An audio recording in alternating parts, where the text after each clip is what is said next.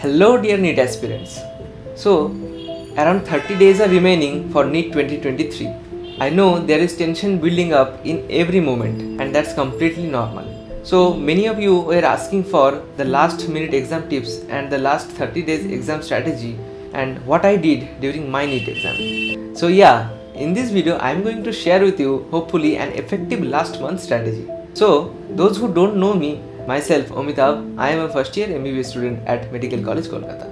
So, without any further delay, let's get started. Tip 1 Start giving mock tests as many as you can. But they should be from authentic sites. My suggestions will be from PhysicsWallah, NEET Prep, Allen, or Aakash. People who have completed their syllabus along with revision can attempt one mock every day, and those who have not completed yet can attempt in alternative days. It will help you in effective revision. You can test your preparation level. Full mock test contain questions from each and every chapter. So it will be helpful in complete revision and along with that you can rectify your weak points and mistakes. And keep it in mind that analysis is very very important after solving the mocks. Tip 2 so for those people जिन्होंने अपना syllabus complete कर लिया है और revision भी लगभग हो चुका है but you can do is solve the P Y Qs again if you have not और अगर किया भी है, फिर भी फिर से एक बार कर लो at least the last fifteen years cause ten to twenty percent of the question will be coming from the P Y Qs only with और विदाउट मॉडिफिकेशन और जो लोग अभी तक सिलेबस कंप्लीट नहीं कर पाए हैं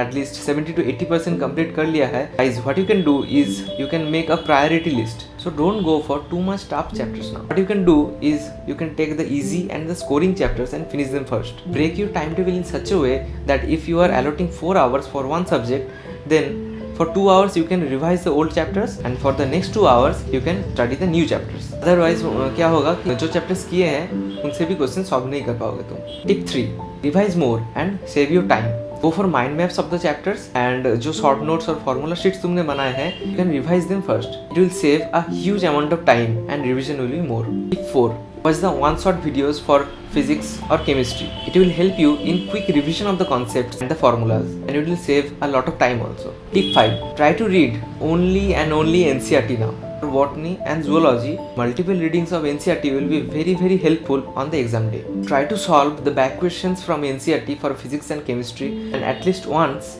go through the examples which have been solved in NCERT because many of the questions in exam will be coming from these examples as it is or as a modified version. So yeah that's it for today. So keep on studying and best of luck